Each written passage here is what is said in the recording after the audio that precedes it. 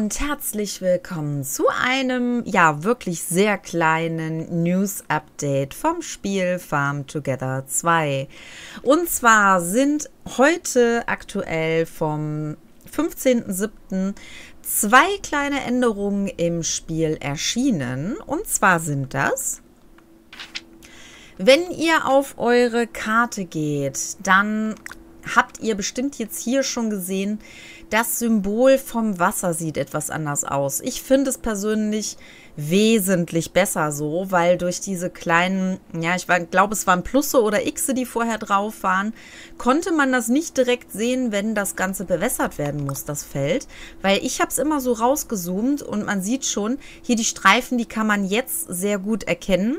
Aber diese komischen X oder was das vorher waren, sahen halt sehr, sehr ähnlich aus wie diese Punkte, die man hier sieht, wenn eben etwas abgeerntet werden kann.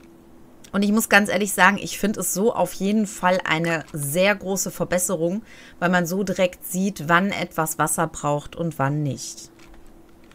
Und die zweite und damit letzte Änderung, die wir haben, sind zwei neue Rezepte, die wir bei uns kochen können. Und zwar ist das einmal gebratene Pilze.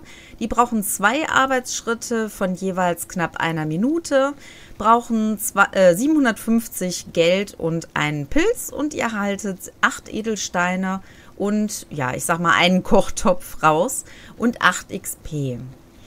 Das zweite Rezept wäre dann Lachseintopf. Dafür benötigt ihr allerdings drei Schritte von vier Minuten jeweils.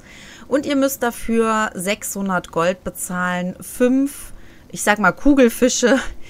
Und ihr erhaltet dann 15 Edelsteine und einen Kochtopf und 16 XP.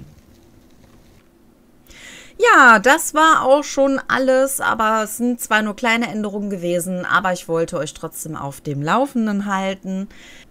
Lasst gerne ein Like da, wenn euch das Video weitergeholfen hat und wir sehen uns dann im nächsten Video. Bis dann, ciao! Vielen Dank für dein Like. Wenn du mehr davon sehen möchtest, dann darfst du mich auch gerne abonnieren.